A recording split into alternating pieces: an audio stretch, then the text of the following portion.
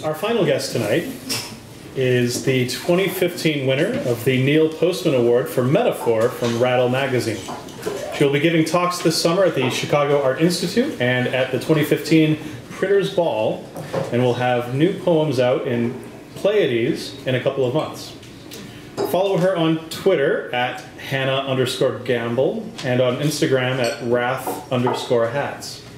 Right now, one hand meeting another is a great noise for Hannah Gamble.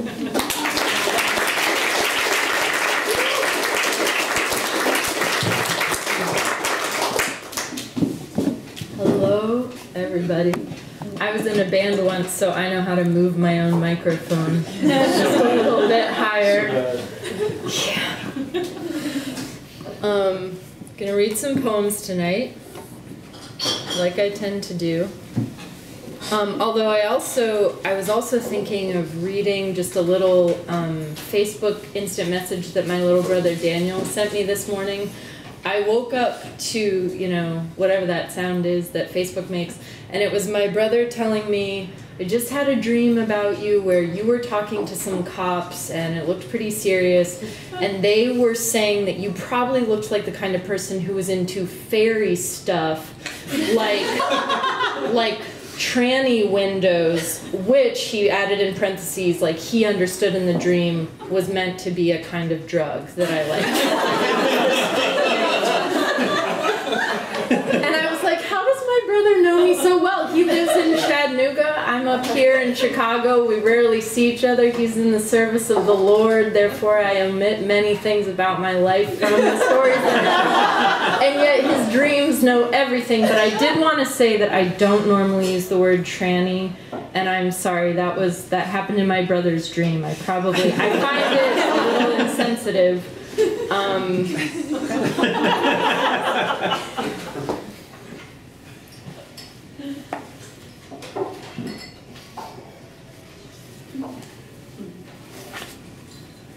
Um, actually, this poem is a little bit insensitive too, in that it just like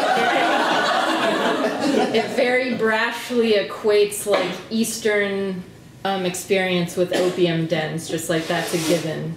Maybe no one's bothered by that. I have a right to my preferences and may present them, if itemized, before the board of directors. I know that part of being human is deferring to the experts. If I was not supervised by a parental bureaucracy, you would lose me to the opium dens. For I have heard that the philosophy of the East is a more peaceful one.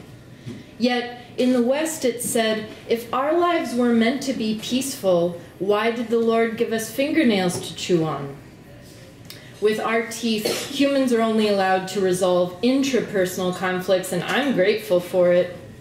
My conflicts with myself keep me from flying in the face of strangers in the street, unlike the man in Kafka's story who would snatch a woman's handbag on a crowded train rather than go home to his wife's face, to which she was indifferent. It's true. Kafka fans, anyone? I feel like that's actually a less when you say Kafka-esque, it's like there's probably a maze, someone's on a mission, it's very dark, there's just one candle. Like, but there's this other one called something else that I can't remember that's just a guy on the train like not wanting to go home and feeling all the pressure of like his life and his responsibilities so at the end of the story he just like sees a woman like grabs her purse and just like becomes a, you know a criminal. So that like something will keep him from having to go back to just you know boredom i guess.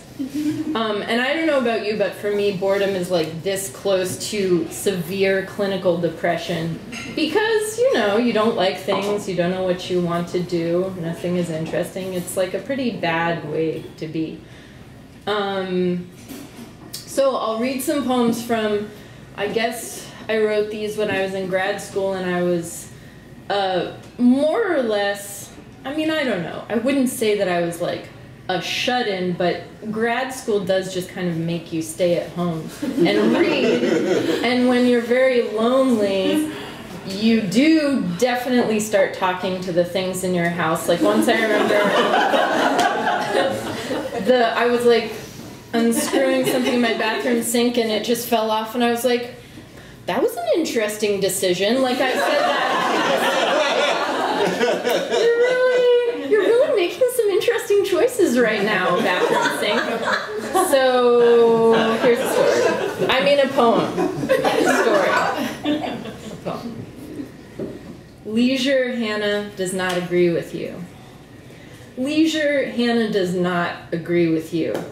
Mouth stuffed with garlic cloves, testicular in shape and pungency, you asked yourself permission for a chicken's breast, a loaf of bread slicked with butter, a cake with cherry glazes that would delight any little girl with gaps in her teeth clapping, Cake! Oh, cake! It's so worth a soiled dress.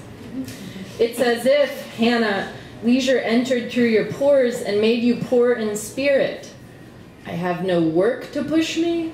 I have no love to hold me. I have no hope to lift me, only cleaning, which is not truly leisure, Hannah. But you can fold these shirts like they do in the boutiques, sweetness. Take a little pride in the smallish things. How shiny your blue tea kettle. Branches slam against the windows, but your house is a fortress, and you are too, Hannah. Sometimes I like to uh, I like to look at my phone to see what time it is, but also I like to. Uh, I'm just doing some math. Okay. Um, I like to enter contests sometimes, like book contests, but they won't let you have your own name in the book because it needs to be totally anonymous. So when I write these poems with my name in them, I just change it to Anna, and I feel like that is so easy that I might just get disqualified. but like I was trying to do like Sarah or Rachel or like Marjorie or something, and I always felt like such a liar.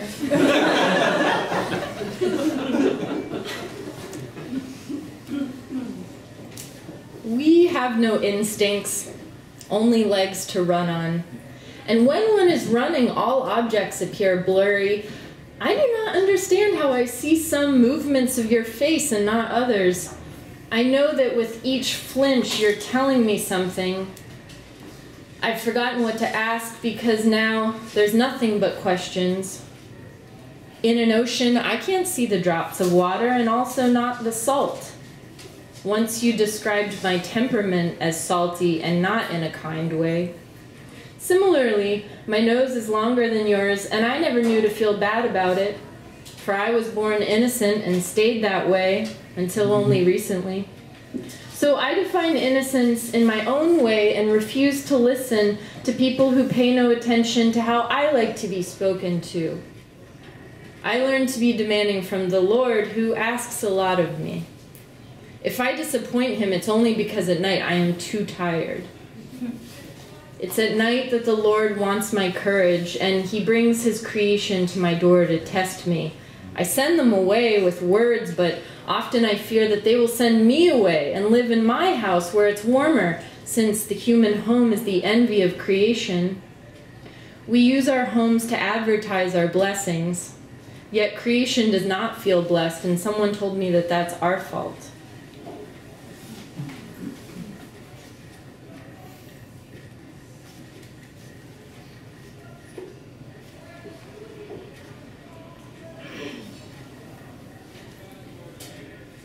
Letter from there. Well, my feet had dirt on them pretty much all the time. Because it was my birthday, I was given a pinata and I beat it very thoroughly. Sobbing all the while, I told my dearest friend she would never be happy. This is not my wish for you, I said. I'm not trying to issue a curse. But what should we do with the thoughts when we think them? Found exercise to be very useful. I found books to be a knife and a comfort. But confronted on the road by many automobiles, I was indecent and abandoned my kindness.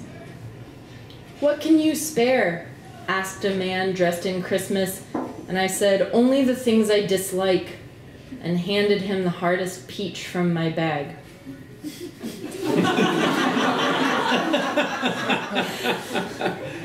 Has it ever happened to you that you are at a stoplight and someone is asking for money and you look to your passenger's seat to see if you have groceries there?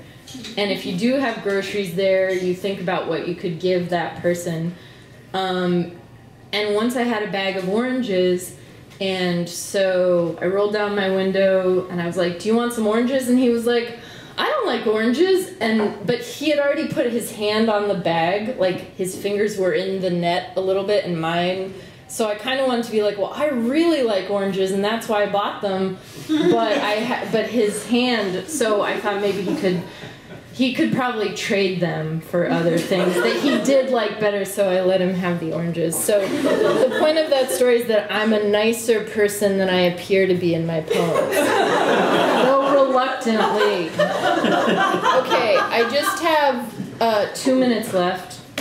And so I wanted to tell you that um, if you buy my book here, not only will I write you a nice note, but um, I got these things uh, from the Poetry Foundation. They're handmade chapbooks that have a new poem from me and then also poems from uh, four other prize winning poets who are very great, and then also um, paintings by this poet named Mark Strand who died recently, but he looked like um, Clint Eastwood, and he was one of my favorite poets ever, and he started painting later in life. But I will give you um, just one of these. Um, and I forget if there's anything else I want to tell you. Well, one of the guys in here, Danez Smith, like just last night, won a Lambda Award, which is like best gay man poet of the year kind of thing for his book Insert Boy. So anyway, he's in here. Um, I probably have time to read like one more poem, so I'll do that. I'll read. Um, I'll read a poem that features a couple lines that I um, stole from uh, a student of mine at Rice University when I was teaching creative writing there, and um, I just confessed to this in an interview, and I like I say her name and I'm like, she follows me on Twitter, so she'll probably see the link to this interview and then she'll see that I confessed this and maybe she doesn't care, maybe she does, but she is really great and here's this poem Neighborhood Beautification. Hello, poet. I read your book again today, and uh, with Houston finally being what I want it to be, I uh, have to say that I felt alone. Alone is a proud and quiet feeling where I'm everything, and everything is a cluster of four pumpkin colored leaves still on a tree green in October. There are several white berries in the leaves where to live in Houston is to hear the cries of the neighborhood beautification machines, which only sound human if my friends are out of town. People say people are hard to understand, but those people aren't paying attention. In Houston, I explore, I explore the alleys of Chinatown alone. Tablecloths, flowers, and trash mean that someone's having a wedding. Thanks to a sudden parade of sirens, the nearby restaurant won't burn after all. Maybe after, everyone will put on nicer clothes and come celebrate the marriage. The world will always burn and be flooded with aid. In their colors, four leaves in October are dying and celebrating. I myself, any one of us could say, am a marriage. Thank you.